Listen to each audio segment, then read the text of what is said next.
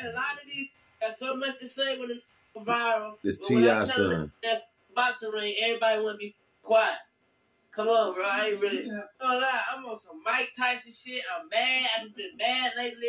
I'm ready to get in there and punch somebody angry. I've been angry, and I'm waiting on one of these bitch ass young ass rappers to, to fix their mouth to get in that boxing ring. Alright, so boom, listen, I don't know if y'all heard about the situation with T.I. son and Julio Foolio, but it ain't looking too good, man. King is definitely